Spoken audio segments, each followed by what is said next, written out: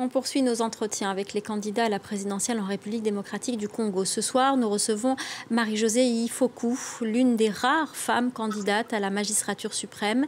Euh, merci d'être avec nous euh, en direct de Kinshasa. Bonsoir. Bonjour, bonsoir madame. Alors en 2018, vous étiez déjà candidate, vous étiez arrivée à, la neuvième position, si je me souviens bien. Qu'est-ce qui euh, vous pousse aujourd'hui à vous présenter de nouveau? Euh, en 2018, euh, l'objectif était commun. Il fallait faire tomber euh, le président Kabila. C'était ça la vision de l'opposition.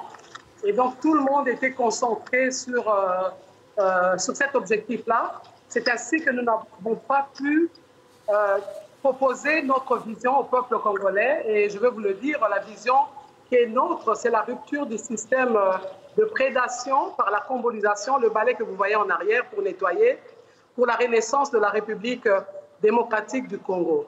Donc nous, nous disons que le Congo a connu une première naissance le 1er juillet 1885, était indépendant du Congo, et ensuite le Congo a connu plusieurs républiques en passant euh, par l'indépendance en 1960. Jusqu'à aujourd'hui, nous sommes à la, à la troisième république et nous, nous disons, notre proposition, c'est que nous disons au peuple congolais, toutes ces, républiques qui sont nées, ces transitions, cet État indépendant du Congo, tout ça a été fait pour l'intérêt d'un groupe d'hommes.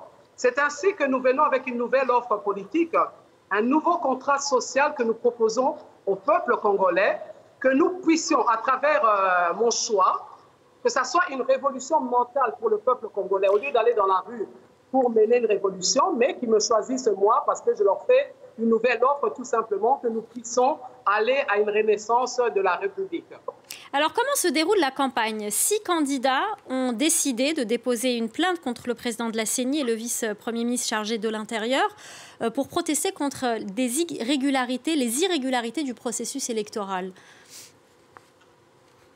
Oui, effectivement, euh, nous avons une réunion avec la CENI et clairement, nous nous sommes rendus compte que la CENI euh, n'est pas prête pour organiser les élections le 20 décembre. Et nous, nous disons justement pourquoi aller à de telles élections si nous tous, nous avons constaté que la CENI a beaucoup de retard. C'est vrai qu'elle a commencé à travailler avec 28 euh, mois de retard, mais pourquoi forcer des élections qui peuvent être un désastre juste après?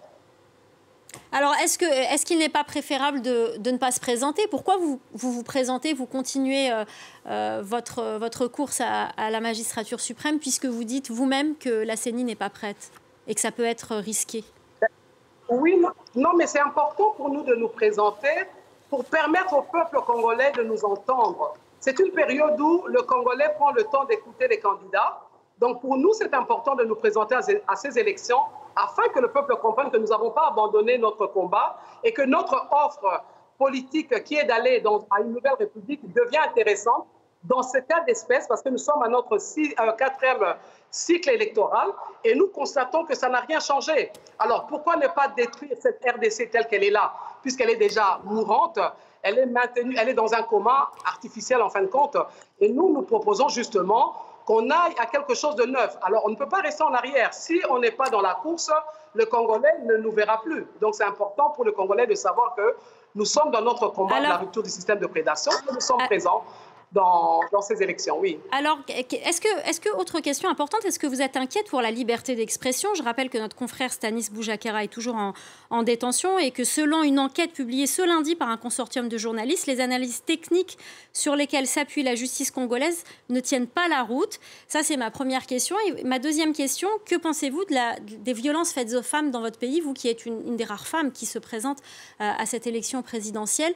Euh, Pourquoi on n'arrive pas à à, lutter contre cette impunité bah, On n'arrive pas à lutter pour la simple et bonne raison, j'ai toujours dit ça, nous n'avons pas un réel État.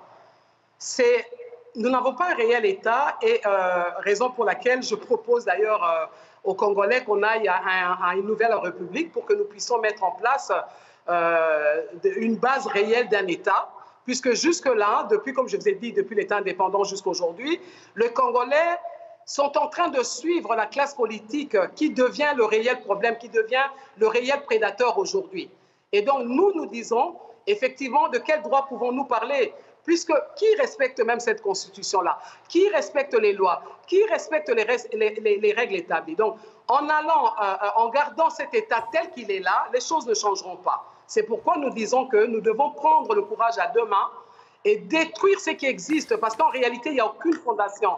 La fondation qui serait la Constitution, elle est déjà violée, elle est déjà euh, détruite complètement par la classe politique.